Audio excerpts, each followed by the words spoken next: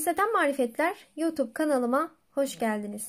Bugünkü örgü anlatımımda bu tığ işi çeyizlik patik modeli nasıl yapılır sizlerle paylaşmak istiyorum. İnşallah sizler de beğenirsiniz ve bu modeli hep birlikte denemiş oluruz. Gerçekten çok güzel ve ayakta da çok güzel duran bir patik modeli oldu. Şu kısımlarını böyle renk renkte yapabilirsiniz. Ben iki renk kullandım. Beyaz ve mavi renk kullandım. 36, 37, 38 ayak numaralarına kadar olur patiğim. Diğer ayak numaraları için sıra sayılarını artma eksiltme yaparak uygulayabilirsiniz. İki renk patiklik ip kullandım. 2 numara 1.75 mm tığ kullandım. Küt burun patik ucunu kullandım bu modelimizi yaparken yuvarlak uçlu patik ucuyla da yapabilirsiniz. Gülümseten marifetler patik ucu başlama şekilleri diye yazarsanız her iki patik ucundan çok ayrıntılı bir şekilde anlattığım videolarım mevcut. Onlardan sizler de faydalanarak yapabilirsiniz. Ben patik uçlarıma hep aynı şekilde ve aynı sayılarda başlıyorum. Şimdi burada 1, 2, 3, 4, 5, 6 sıra ördüm ve 48 ikili trabzana kadar artma yaptım. Modelim 4'ün katları üzerine kurulan bir örgü modeli ve 48'de 4'ün katı şeklinde olacak şekilde böyle artmalarımı tamamladım. Elimde 48 tane ikili trabzanım mevcut. 6 sıra ördüm. Şimdi burada yine sayalım. 1, 2, 3, 4, 5, 6. 6 sıra örmüşüm ve sonrasında modelimi uygulamaya geçmişim. Şimdi mavi rengimi alıyorum. Mavi rengimle modelimi kurmaya başlayacağım. Şimdi iplerimi kopartmadan ilerledim. Bakın bir sonraki trabzanın tepesine battım. 3 ilmeğin üçünü birlikte ördüm.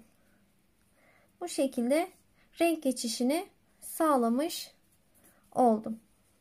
Ve 1 2 3 zincirle bir üst sıraya geçtim. Tığıma ipimi dolayarak aynı yere batıyorum. Bir tane ikili trabzan yaptım. Aynı yere tekrar battım. Bir tane daha ikili trabzanımı yaptım. Aynı yere tekrar batarak bir tane daha ikili trabzanımı yaptım. Zincirimi de ikili trabzan sayıyorum. 1 2 3 4 tane ikili trabzanımı yapmış oldum. Tığıma ipimi bir kez dolayarak bakın hiç zincir falan çekmiyorum. Sayalım. 1 2 3 4 dördüncü ikili trabzanın tepesine batarak ikili trabzanımı yaptım. Aynı yere tekrar battım. İkinci ikili trabzanımı yaptım. Aynı yere tekrar battım. Üçüncü ikili trabzanımı yaptım. Aynı yere tekrar batıyorum. Ve dördüncü ikili trabzanımı yaptım. Bakın böyle aynı yere 1, 2, 3, 4 adet ikili trabzan battım. Tığıma ipimi dolayarak 1, 2, 3, 4 1, 2, 3 dördüncü ikili trabzanın tepesine ikili trabzanımı battım. Aynı yere 2, 3, 4 4 tane ikili trabzanımı yaptım. Modeller arası zincir çekmiyoruz. Böyle sıra sonuna kadar tekrar ederek ilerleyelim. Evet sıranın sonuna kadar geldim. Şimdi burada en son modelimi de yaptım. Ve bakın 1, 2, 3, 4. Dördüncü trabzanın tepesinde diğer modelim var. Yani sıramızı tamamlamış olduk. Şimdi ilk trabzanın tepesine şöyle batalım. ilmeği içinden geçirelim. Ve mavi rengimizi bırakalım. Beyaz rengimize geçelim. Şimdi beyaz rengimizde şöyle geçişimizi yaptık. Bir zincir çekelim ve sırasıyla trabzan tepelerine böyle bir kere de batarak örelim. Bakın bu şekilde. Battım, ördüm. Yani sık iğne yapıyoruz. Bu şekilde bakın böyle sırayı tamamlayalım. Evet en son sık iğnemi de yaptım. Bakın şöyle baştakinin tepesine battım. Böyle ilmeği içinden geçirerek sıramı tamamlamış oldum. Şöyle sizlere göstereyim. Bakın böyle bir görüntüsü olacak. Burası patiğimin arka tarafı. Şimdi burada mavi rengime geçiyorum. O da tam şöyle orta kısma denk gelecek şekilde 1 2 3 3 zincirimi çektim. Aynı yere tekrar battım. 3 tane ikili trabzan yapıyorum aynı yere. Zincirimle birlikte 4 adet olacaklar. Bakın 1 2 3 4 adet yapmış oldum. Sonrasında tığıma ipimi dolayarak 1 2 3 4 yine buradan sayalım 1 2 3 4 bakın şu 1 2 3 ile ikinci trabzanın şöyle arasına denk gelecek şekilde oluyor yani tam orta kısma denk getiriyoruz yine aynı yere 4 tane ikili trabzan batalım bakın bu şekilde Yine tığıma ipimi doladım. 1, 2, 3, 4. Yine şu orta kısma şöyle 2, 2 ayırıyoruz. Bakın tam o orta kısma denk gelecek şekilde 4 adet ikili trabzan yapalım.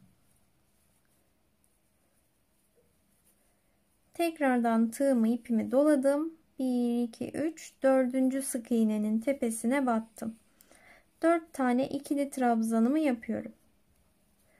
Bu sırayı da böyle tamamlayacağız. Sonra yine bir sıra beyaz rengimizle sık iğne olarak dolanacağız. Sonra mavi rengimize geçeceğiz. İplerimizi kopartmadan böyle sıralarımızı ilerleyelim. Kaç sıra yapmışız? 1, 2, 3, 4, 5 sıra yapmışız mavi rengimizle. Böyle sıraları tamamlayalım. Bu sıra sayısınız ayağınızı ölçerek ya da manken ayağınızı ölçerek de ayarlayabilirsiniz. Evet sıralarımı tamamladım. Bakın sizlere şöyle yine tekrardan göstereyim. 1, 2, 3, 4, 5. 5 defa mavi rengimle 1, 2, 3, 4, 5 defa beyaz rengimle ördükten sonra bu kadar uzunluk bana yeterli geldiği için burada bıraktım. Şu koparmış olduğum kısım şu birleşim yeri altta kalacak şekilde. Burası ön tarafı. Şimdi şu önde bakın şöyle iki model arada bıraktım ben. Şimdi o kısmını yapacağız. Beyaz rengimi aldım. Artık mavi rengimle işim bitti. Şimdi şöyle ortada şu iki taneyi bırakacağız. Burası patiğimizin bakın tam orta kısmı. Şuradan başladım. Bakın şuradan başladım. Şu iki model şöyle orta kısımda kalacak şekilde 3 zincirle bir üst sıraya geçtim ve böyle sırasıyla her bir sık iğnenin tepesine böyle ikili trabzan batarak modelimizi ilerleyelim. Şu kısma kadar gelelim. Evet bakın şöyle şu ortada iki model kalacak şekilde şuraya kadar ikili trabzanlarımı yaptım. Buradan sonra 2 3 zincir çektim ve böyle geriye döndüm. Her trabzanın tepesine böyle birer kez batarak ilerliyorum. Böyle gitgeller yaparak sıraları tamamlayalım. Şöyle bakın. ikinci sıramdayım şu an. Böyle sıralarımızı yapmaya devam edelim.